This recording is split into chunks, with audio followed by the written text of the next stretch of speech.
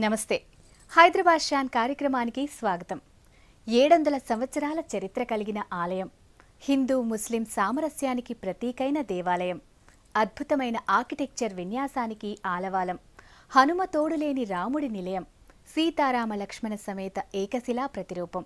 ఎదుర్కోళ్ళ మండపాలు కళ్యాణ మండపాలు శిలాతోరణాలు నగారా నిలయాలు వందలెకరాల సువిశాల ప్రాంగణాలు వెరసి అమ్మపల్లి కోదండరామస్వామి దేవాలయం. ఈ వారం హైదరాబాద్ షాన్. ముందుగాల అందరికీ శ్రీరామనవమి శుభాకాంక్షలు. భారతదేశం అంటే రాముడు తిరుగాడిన నేల.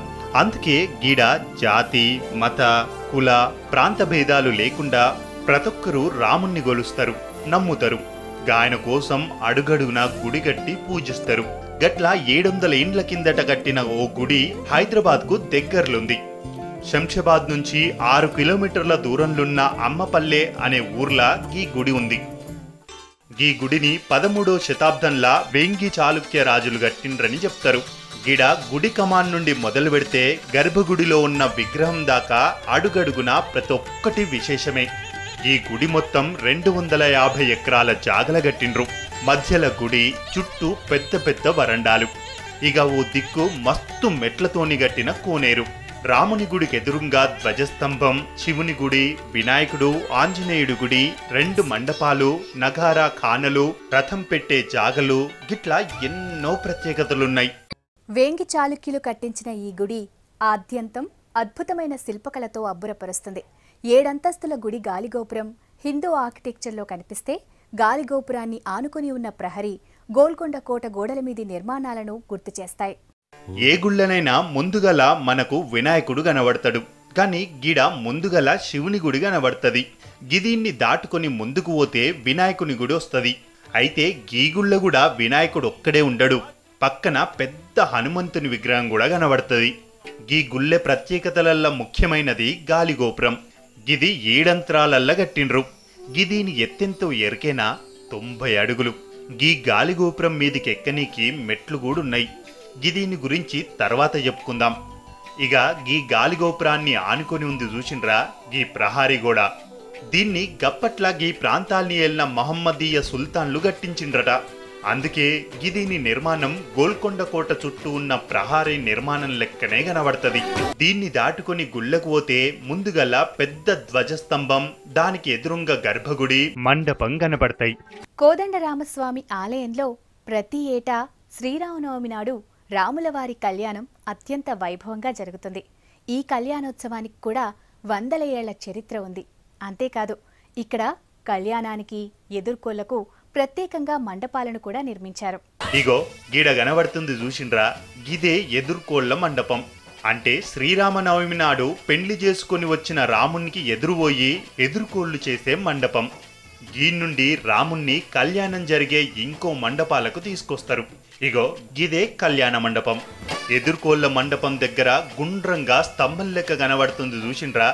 దీపస్తంభం లెక్కున్న దీన్ని ఏమని పిలుస్తారో తెలియదు గాని దీని చుట్టూ దీపాలు పెట్టుకోనికి గూళ్ళు ఎంత బాగుందో కదా గప్పటికి కరెంటు లేదు దీపాలతోనే వెలుగొచ్చేది. అందుకే గీ దీన్ని గట్టిండ్రు కావచ్చు. ఇక మండపాల దగ్గరకొస్తే ఈ మండపాలను మొత్తం రాతితోనే కట్టిండ్రు. మండపాల కిందుండే ఫ్లోర్లు స్తంభాలు గవిట్ మీద వేసిన చెత్తు మొత్తం రాతితోనే కట్టిండ్రు. నాలుగు పలకలుండే పొడవాటి పెద్ద రాళ్ళను దీనికోసం వాడిండ్రు. ఎదుర్కోళ్ళ మండపం కళ్యాణ మండపం రెండు గిట్లనే కట్టిండ్రు. ఏడొందలేళ్ళ కింద కట్టిన గీ మండపాలల్లా ఏం మార్పు చేయలేదు. బండరాయి ఉండే ఫ్లోరింగును మాత్రమే మార్చిండ్రు. కళ్యాణ మండపం నుంచి చూస్తే కొంచెం దూరంలో మూడంతస్తుల్లో ఉండే ఓ నిర్మాణం కనిపిస్తుంది. దీన్నే నగార్ఖానా అంటారు. కళ్యాణం సమయంలో వాయిద్యకారులు కూర్చొని వాయించడానికి వీలుగా దీని నిర్మాణం కనిపిస్తుంది. కోదండరామస్వామి గుళ్ళే ప్రతొక్కటి వాస్తు ప్రకారమే గట్టిండ్రట గీ నగారా కూడా గట్ల గట్టిందే ఇప్పట్లెక్క అప్పట్ల పెండ్లి అయ్యే దగ్గరనే వాయిద్యాలు ఉండేటి గావు. వాటికి ప్రత్యేకంగా ప్రదేశాలుండేటివి వాస్తు ప్రకారం వాయిద్యాలు ఏ మూలకుండాలనో లెక్కుండేది. దానికోసమే గీ నగారాను గట్టిండ్రు. ఇది కూడా మొత్తం సున్నం రాతితోని గట్టిందే. దీంట్లో కూడా దీపాలు పెట్టుకునే గూళ్ళు కనబడతాయి ఇక గీ నగారా ఖానా నుండి చూస్తే కళ్యాణ మండపం మంచిగా కనబడుతుంది గాడున్న అయ్యగార్ల సైగల ప్రకారం గీడ వాయిద్యాలు మోగేటియట. బాగుంది కదా? ఇంకో దిక్కు రాళ్ళతోని గట్టిన నిలువెత్తు నిర్మాణం కనబడుతుంది దీనికి మూడు దిక్కులే గోడలుంటాయి. ఇంకో దిక్కు మొత్తం ఖాళీ. గిదేందో తెలుసా? రథం పెట్టే జాగా. గీ గుడికి పెద్ద రథం ఉండేది కళ్యాణం ఉత్సవాలు జాతరలప్పుడు స్వామివారిని గీడుండే రథంలా ఊరేగించటోళ్ళట. ఇప్పుడు రథం లేదు గాని రథం పార్కింగ్ ప్లేస్ గిట్లా ఖాళీగా కనబడుతుంది. దేవదాసిల కోసం కట్టిన భవనం కూడా దేవాలయంలా ఓ దిక్కు కనిపిస్తుంది. ఇదిప్పుడు మొత్తం కూల్పోయేటట్టు అయ్యింది. గర్భగుడిలో లక్ష్మణ సమేత సీతారామస్వామి కనిపిస్తాడు. ఈ విగ్రహంలో ప్రత్యేకత ఏంటంటే రాముడి పాదాల దగ్గర ఎల్లప్పుడూ కనిపించే రామబంటు హనుమంతుడు కనిపించడు. దీనికి కారణాలున్నాయి. నల్లరాతిలో చెక్కిన ఈ విగ్రహానికి కూడా చాలా ప్రత్యేకత ఉంది. ఇలాంటి విగ్రహాలు దేశవ్యాప్తంగా కొన్ని మాత్రమే ఉన్నాయి. వాటిల్లో ఇది ఒకటి. గర్భగుడి మీద శేషతల్పం మీద పడుకున్న విష్ణుమూర్తి స్వాగతం పలుకుతుంటాడు. గర్భగుళ్ళకు ఓంగనే చేతుల కోదండంతోటి రాముల వారు కనబడతారు. గాయనకు ఎడమ దిక్కున సీతమ్మ తల్లి కుడి దిక్కు లక్ష్మణ స్వామి ఉంటారు. కానీ ఈ గర్భగుడిలా ఆంజనేయుడు కనబడడు. దీనికి ఓ చరిత్ర ఉంది. రాముడు వనవాసం పోయేటప్పుడు ఏ ఏ జాగలల్లా ఆగిండో ఆ జాగలల్లా గుడ్లు కట్టిండ్రట. అంటే గప్పటికింకా రామునికి హనుమంతుడు కనిపించలేదు గాయన గురించి కూడా తెలియదు అందుకే గిడ రాముడి దగ్గర హనుమంతుడు కనబడడు సీతారామ లక్ష్మణ విగ్రహాలు మస్తు అందంగున్నాయి కదా వీటిని చూస్తుంటే మనసుల భక్తి ఆటోమేటిక్ వస్తది. గది గా విగ్రహాల మహత్యం. గవీటిని చెక్కిన శిల్పకారుడి గొప్పతనం. గిడ ఇంకో ముచ్చటుంది. ఈ మూడు విగ్రహాలని ఒక్కటే రాయిల చెక్కిండ్రు. అది కూడా నల్ల సల్వరాయిల చెక్కిండ్రు. రాముని విగ్రహం నాలుగడుగులు. దానికంటే కొన్ని ఇంచుల తక్కువల ఎత్తుల సీత లక్ష్మణుల విగ్రహాలు ఉంటాయి ఇక విగ్రహం చుట్టూ ఉండే మకర తోరణం కూడా రాతిల్నే చెక్కిండ్రు ఈ మకర తోరణం ఎండిదో బంగారందో ఇత్తడిదో ఉంటది గాని గీడ విగ్రహంతో చెక్కిన రాయి మకర తోరణం ఉండు ప్రత్యేకత. అంతేకాదు ఈ మకర తోరణం మీద మొత్తం దశావతారాలు చెక్కిండ్రు గిట్లా ఒకటే రాయిల చెక్కిన విగ్రహాలు దేశం మొత్తం మీద కొన్నే ఉన్నాయట. గట్ల ఈ విగ్రహాలు మస్తు విలువైనయన్నట్టు. రామభక్త ఆంజనేయుడు రాముడితో పాటు కనిపించడు. విడిగా గర్భగుడికి దూరంగా ధ్వజస్తంభం దగ్గర కనిపిస్తాడు. భక్తుల కోరికలు తీర్చే అభయాంజనేయుడిగా దర్శనమిస్తాడు. ధ్వజస్తంభం తరువాతి మండపంలో కనిపించే కూర్మరూపం ఇక్కడి మరో ప్రత్యేకత. ఈ గుళ్ళే ఆంజనేయుడు ధ్వజస్తంభం దగ్గర కనబడతాడు.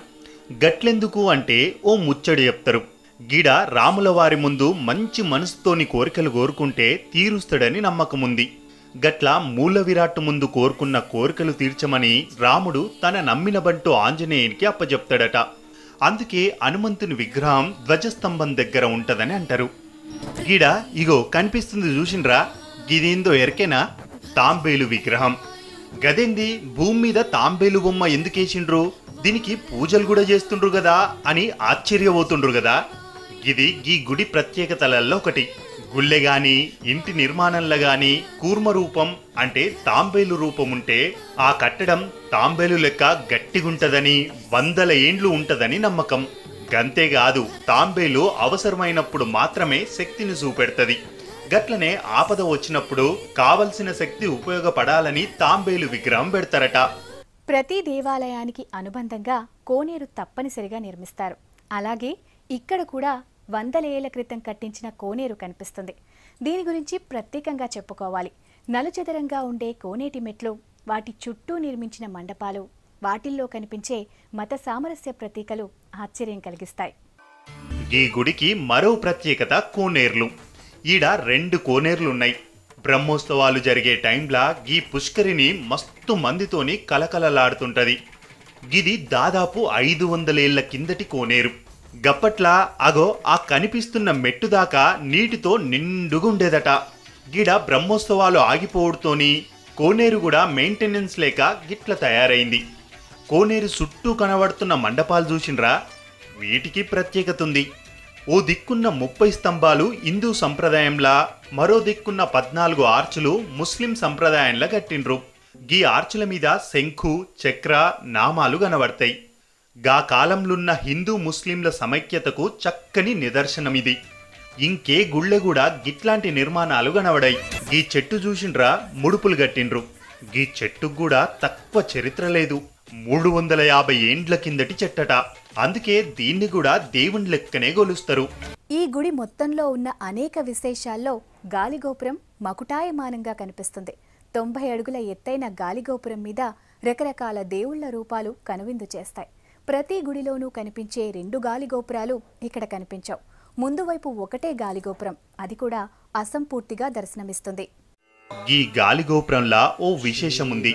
మామూలుగా గుళ్ళెల్ల కనబడే గాలిగోపురం కింద విశాలంగుండి పైకి పోయే కొద్దీ సన్నగా తయారైతాయి. అంటే బోర్లబడ్డ వి ఆకారంలా కనిపిస్తుంది. కానీ ఈ గాలిగోపురం అట్లా కనబడదు కింద నుండి మీదాకా ఒక్క లెక్క కనిపిస్తుంది. ఇక ఈ గుడి చార్మినార్ కంటే కూడా మూడు వందల ఏండ్ల కిందడిది గందుకే చార్మినార్ కట్టే టైంలా కూలీలు ఈ గుడిని గాలిగోపురం నిర్మాణాన్ని పరిశీలించిండ్రని చెప్తారు. గీ గాలిగోపురం ప్రతి అంతరంలా దేశంలోన్న అనేక దేవుండ్ల బొమ్మలు చెక్కిండ్రు. గీ గాలిగోపురం ముందు నుండి ఎంతో చక్కగా కనిపిస్తుంది. కానీ వెనక దిక్కు అసంపూర్తిగుంటది. దీనికి ఓ కథ ప్రచారంలుంది. ఈ గుడికి వెనక దిక్కు ఇంకో గాలిగోపురం కట్టాలని అనుకుండ్రట.